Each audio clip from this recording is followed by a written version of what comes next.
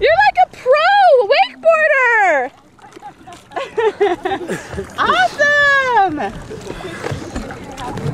Your hair didn't even get wet, Payton. Wow. Was that hard? Was that hard, Spencer? Yeah, when you were going slow, especially because I uh. was just.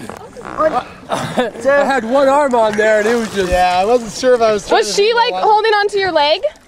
Huh? Was she holding onto your leg? I was squeezing, like when I had two hands on the the rope, I was squeezing it between my my kneecaps. Yeah. Good job, honey.